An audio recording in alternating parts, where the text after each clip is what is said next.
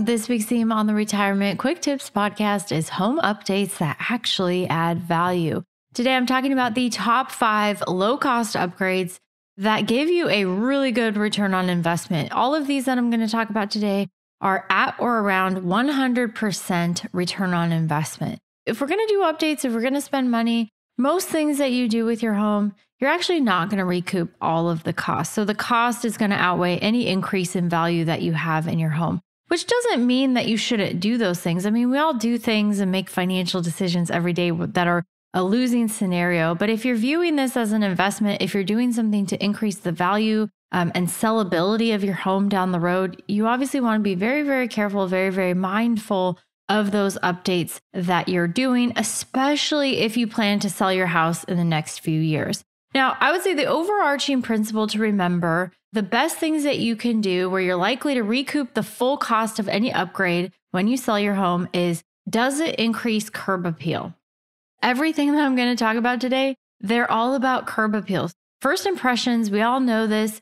We make our impression of somebody within a few seconds of meeting them, oftentimes before they even open their mouth.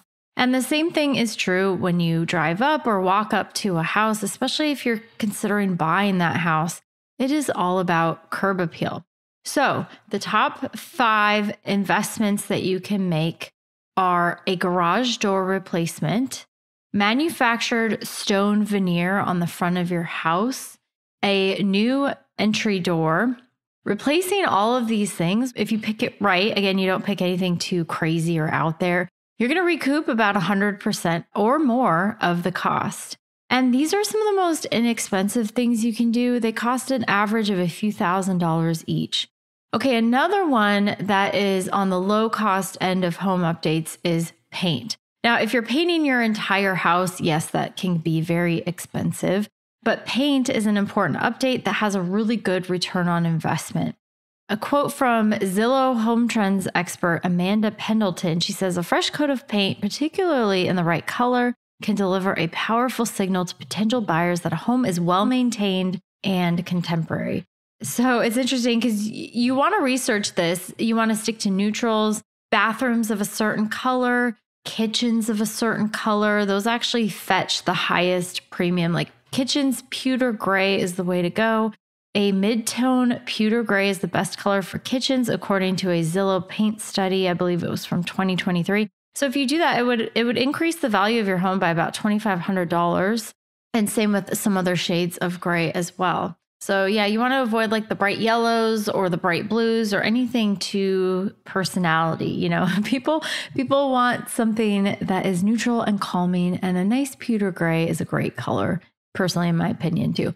The single best upgrade, though, as far as return on investments, is updating your HVAC system. According to Remodeling Magazine's 2023 Cost versus Value report, a HVAC conversion costs an average of $17,447, so not cheap, but it has a resale value of $18,366. That is a 103% return on investment.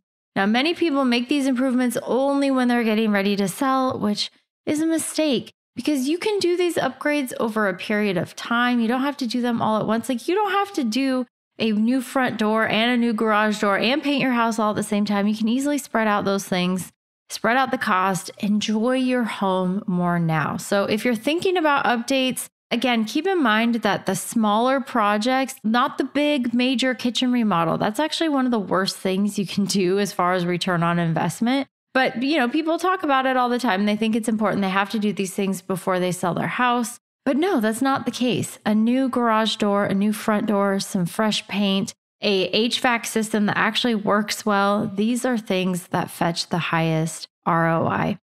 Come on back tomorrow. I'm going to talk about why a kitchen remodel is one of the worst things you could do, major kitchen remodel, as well as a bathroom remodel. These are the worst in terms of ROI. And that's really too bad because many of you listening probably would love to update your kitchen or at least one of your bathrooms if it's been a while since you've had a refresh. All right, that's it for today. Thank you so much for listening. My name is Ashley Micciche, and this is the Retirement Quick Tips Podcast.